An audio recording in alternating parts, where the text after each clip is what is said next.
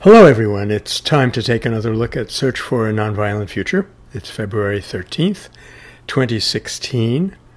We were up to page approximately 35. We are taking our time with this book, and I hope you're finding that it's rich enough. Uh, but I was making the point that uh, people would be likely to refrain from harming others if they knew that in so doing they were harming themselves.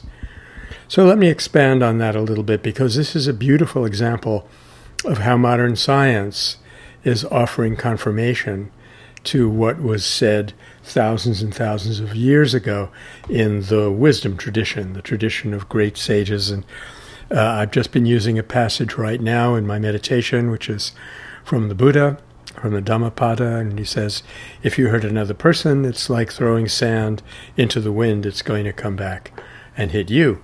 Well, now, of course, we have very concrete confirmation of this if we needed it, and I guess some of us do, uh, from science in the form uh, specifically that neuroscientists have discovered, which is what they call mirror neurons, such that if I were to inflict pain on another creature, the suffering of that creature is actually being represented in my nervous system. So I may not be consciously aware that I'm suffering because my attention is on something else. Maybe I'm even finding this exciting if I've gotten that dehumanized.